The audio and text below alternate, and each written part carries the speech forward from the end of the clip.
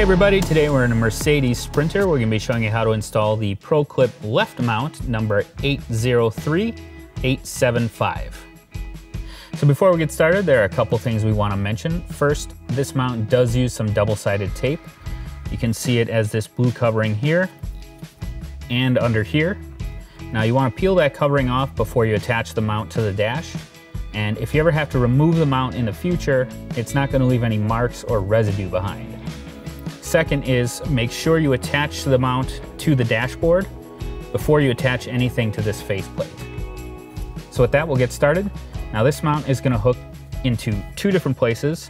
The first is just under this lip here that's at the top of the vent. And the other is back here. There's a seam between these two sections of the top dash. That's actually the one we're gonna start with. So we're gonna take this upper edge and we're actually gonna take our thumb underneath here where the hood goes near the gauge cluster.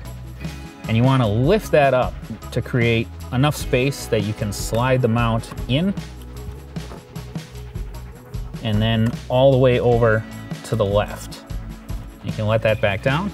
Now that's in place, we're going to take our fingers, we're gonna pull forward on the bottom part as well as push down on the top so we can get this bottom lip underneath the vent edge here. There you go. Once it's in place, we have a nice solid mounting platform for a custom ProClip device holder. I hope this video has helped. Have a great day.